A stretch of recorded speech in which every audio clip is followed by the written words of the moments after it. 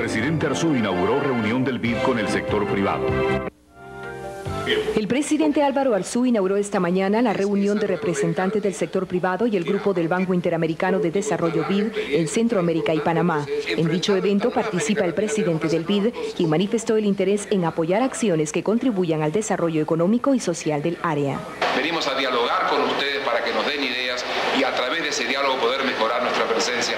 Pero sí queremos que sepan que esta visión integral que apunta a los grandes objetivos del desarrollo económico y social es hoy lo que mueve al banco en Centroamérica. Por su parte, el mandatario guatemalteco expresó su complacencia por el apoyo financiero que el BID brinda a los gobiernos y sector privado del Istmo.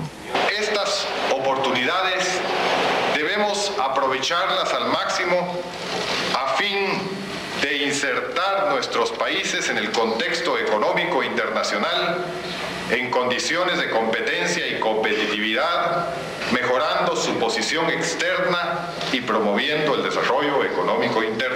Los participantes discutirán sobre experiencias adquiridas, las nuevas modalidades de inversión y financiamiento de proyectos que apoya el BID.